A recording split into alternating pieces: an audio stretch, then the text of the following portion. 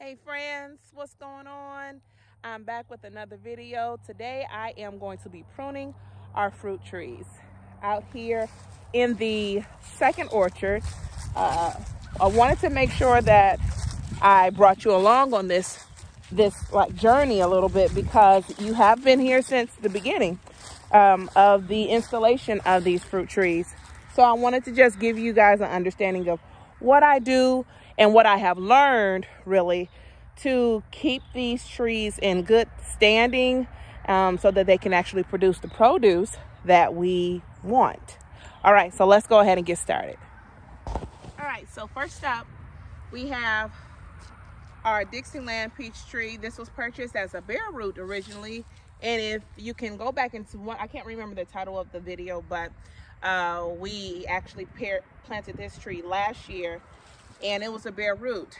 Uh, so basically what that looks like, it was only probably about this tall and it, it didn't have any um, scaffolding branches or anything and definitely no foliage of, at, at all. So uh, this is what came out to look like um, after a while.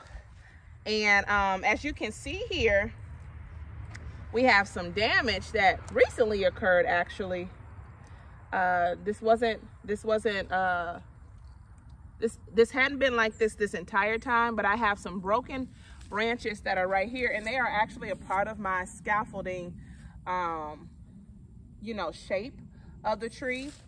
And now so what I'm going to do here and it's going to look very heinous actually but uh, this is what helps the tree grow back. Even this is even biblical. It says in the Bible that even the Lord prunes so that we can bear much fruit. And that's pretty much what I'm doing here. Uh, this, this tree grew at such an amazing rate and produced such a, a, a good um, yield that I wanted to produce much more. And a, and a part of that is keeping keeping its shape and um, keeping uh, by keeping its shape you have to prune um, so that it can bear much more fruit than what it has and you can train it in the way it should go. Oh, that's biblical too. So let's go ahead and get started. First things first, I'm going to go ahead and let go of all of these little bitty things here, these little bitty branches. And basically I'm using my pruners and I am just cutting off these items. I'm cutting them off at an angle and there's no real science you know um, there is a such thing as pruning anxiety that people get. Uh, but basically what you're doing is you're just trying to create more airflow for your trees. Um, and and that's that's the main goal. That's the main objective. Now as you can see right here I have this broken branch. So what I'm looking thinking I'm going to do is I'm going to just cut it right where it's coming off. Right where it's broke, just a little bit under actually. I'm to cut it right where it's coming off. And cuz yeah, this this broken this this would actually create damage. This damage would actually bring in disease. So I don't want to do that to this tree. I really want it to grow healthy. And in order to keep it in a good growing shape, you want to kind of create like um, an open palm for a peach tree. There's other trees that you don't necessarily need that exact shape, but for a peach tree, it is a stone fruit. You do want to keep that in mind. So I'm going to see if I can get my, I can get my pruners around there, but I'm going to pull out my loppers instead because I don't want to put a strain on my own wrist. And it looks like I'm going to have to cut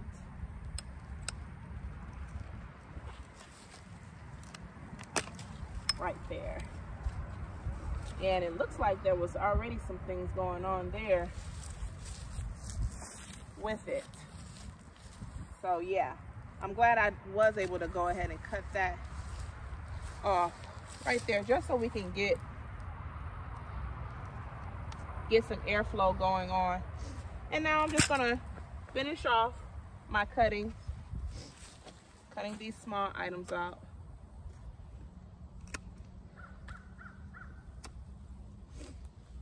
I'm really just preparing for our next growing season while it is going into dormancy. This is giving it a good, a good um, shaping so that while it's going into dormancy and those roots are growing deeper and it's establishing itself even more into the land that um, actually I know ah! it's like when you see that I know for myself I'm always like eh, I'm sorry but I have to um Plus, I don't want this tree to get taller, too tall, to the point where um, it can't sustain its strength. Because peaches are heavy. And so I don't want this tree to get to a point where, like you guys have seen in the other branches, where it doesn't have enough um, girth to sustain the fruit that's growing on it, the strength to sustain it. So yeah, that concludes the one for my peach tree. I know it looks so naked, doesn't look nothing like it did when we first came upon it, but this type of work is gonna do the job. It's not like we were gonna look for any peaches to be ate um, during the fall and winter months. So this is fine. We don't eat. We try our best not to eat out of season. But when we when the season is appropriate, we will have some fruit. All right, guys. I wanted to uh, also show you something that is very important when you're dealing with a peach tree. Um, I've moved over to our second peach tree right here. It is also very young, probably within a year or two. And um, it is there's a learning lesson here that was not on our other peach tree that we just gave a good shaping to. Um, right now I'm in the middle of about to shape this one, but there was something that I wanted to mention. When you're looking to learn how and where your fruit will grow on a peach tree, there's two things to look for. Uh, one is the color of the stem or the branch that we want to say, not stem, branch. You see here, there are red. These are red.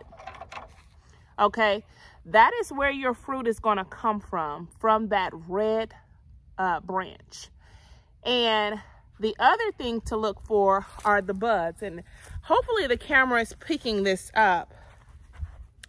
But if I can lean in, I don't want to damage my tree you can see actual buds here. Okay, now the main way to recognize where you'll get leaves and um, fruit is by checking out the buds. If the bud is just like a little point, then that's just a leaf, okay? If there is like a little roundness and then there's two pointed areas, then that is where fruit will come. So I'm gonna see if I can come in here so you can see. Well, let me see. As you see here, there's lots of those pointed things, right? We got a lot of points. It's not something that has a, like a little combo section, just lots of little points, right? That's an area that is just gonna be leaves. I'm cutting those off. I'm also cutting these off. I know these are red. But this one also is red too. What's important to remember is that your peaches are always going to be a lot heavier than normal uh, fruits. Peaches and apples, they're very heavy. And you want to have a branch, as I shared earlier, you want to have a branch that can sustain the strength and the weight. Uh, you want to have a branch that has enough strength to sustain the weight. That's what I mean um, of your fruit. So what I'm doing here is though I see red fruit, I mean red branches, and even right here, I see that combo, I'm gonna have to cut this one off. Why? Because it will not sustain fruit. It cannot hold the weight of peaches growing. But the ones that I am to keep, the areas that I am going to keep, I'm going to keep this one because it has way more combos. If you can see, it's not just pointies, like, like pointy shapes that are on pointy bulbs. There are literally a whole bunch of combo looking buds here. So I'm cutting that out. I'm cutting this one out. I'm cutting this one out. Cutting this one out. I'm getting rid of those ones that will not give me the fruit, but just foliage. I want fruit and foliage.